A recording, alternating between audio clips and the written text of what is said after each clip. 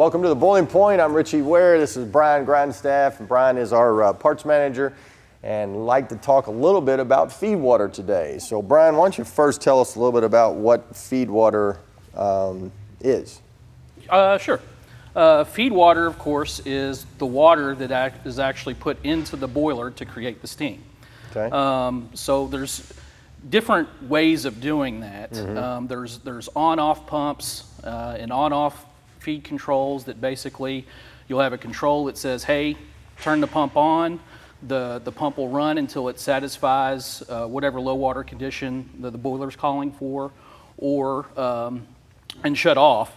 Or you've got a modulating option that uh, is a continuous run. Your pumps basically run continuously, uh, nonstop, and it it is basically tuned with the steam rate of your boiler. As your boiler runs up and down throughout its cycles, uh, it's got controls that tell tell it how much water is needed in the boiler. Right. So your pumps are continuously running, and your modulating feed water valve actually uh, modulates with that steaming rate to allow different flow rates into the boiler. Okay. Now, there's different types of uh, modulating feed water valves out there. Yep. Um, this is the Ware Mod V, and we kind of do that a little bit different. And I'd like to maybe just go to here and tell why. What What is the difference, and why would you use something like this? Yeah, and we've we've used even in our rental fleet, we've used different iterations of modulating feed water valves over the years, and um, we went uh, from a Globe design, uh, Honeywell DeZURIK brand. Um, we had issues with those leaking by. They've had uh, seal problems where they've got a four bolt top to them that they just continuously leak and leak and leak.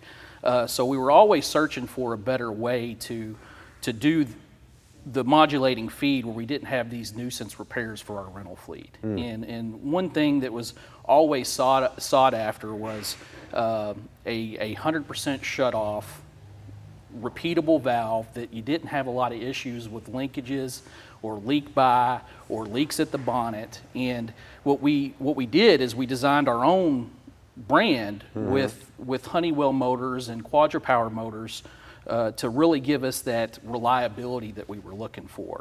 Uh, the valves that we use now are a Marwin brand valve. They're V ports. Uh, they, they allow for 100% bubble tight shut off. Um, and they're really, you know, basically just bulletproof mm-hmm. for, for our rental fleet and for the customers that we sell these to. We hardly get any kind of warranty complaints. I mean, it's a very low return rate. I Right. mean, we put these things in service. We've sold thousands of these valves now, and we've hardly had any of them come back. What's the What is the whole deal with the V port? Why is Why is it that way? Yeah, the, the V port is actually, you, you'll see a notching in here um, that, that's basically narrow on one end and wide on the other. And that's what gives you your characterized flow. As your boiler needs more water, it starts to open up toward that bigger end. And it gives you it gives you more flow rate through that bigger bigger hole or bigger orifice in the valve. Okay. Um, as you need to turn that, that flow rate down and keep the water level more steady in the boiler, it, it starts to tune toward the smaller end. Okay. So you, you get a, a good control, even flow through that characterized operation. So without the V port, it's actually totally open, of course, um, on, on Yeah. others. And Yeah, why, why, why is some- that bad, or is it even bad, or is it just not a good control? Yeah, you, you get no control. I mean, other people will use uh, like a knife gate that's that can modulate a little Mm-hmm. bit, a globe valve with uh, with cages in it that are that have machined orifices.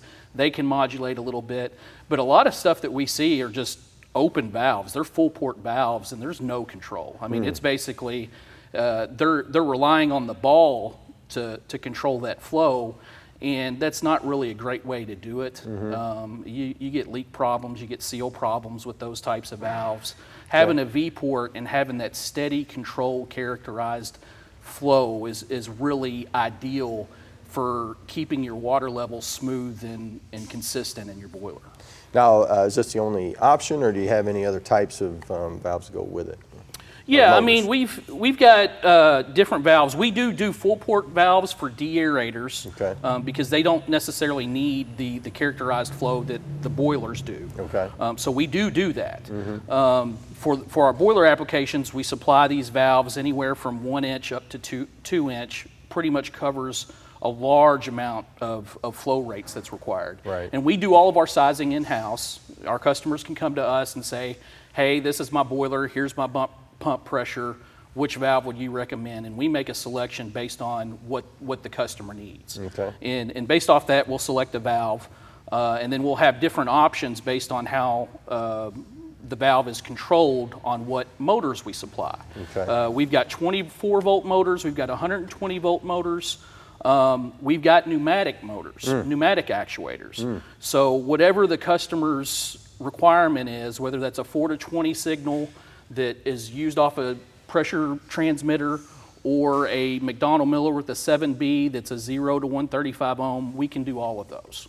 Okay, and, and so why would you need, just, just to, you know, to, to talk a little bit to, to everyone about, um, about this, why would you need a pneumatic? What's, what's the A pneumatic, um, generally pneumatics, uh, we, we tend to use those when the valve sizes get in the upper range because they require more torque. Okay. Um, another reason to use a pneumatic actuator is the actual speed of the response. Uh, these motors can take 30 seconds to actuate, open and close. So there's a response time there as, as things are moving. It, it's slowly moving and slowly bringing things on, which is great because you know that keeps an even flow.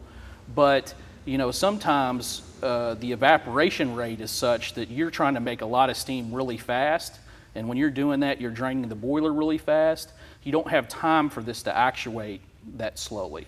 You Okay. use a pneumatic valve that's basically an instant position. Okay. So it's constantly moving a little bit faster to keep up with your steaming rate. Awesome.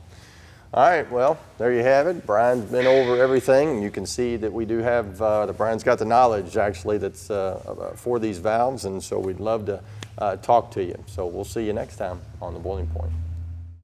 Well, appreciate Brian hanging out with us, talk a little bit about the feed water valve. Check out boilerwarehouse.com. You can see that we actually have everything that's needed to build a feed water system. So check it out on boilerwarehouse.com. Well, it's baseball season. Go Dodgers. Getting ready to open up. Like us on Facebook. Follow us on Twitter. If you don't mind, maybe subscribe to the YouTube channel. And as always, share a video. We'll see you next time on The Boiling Point.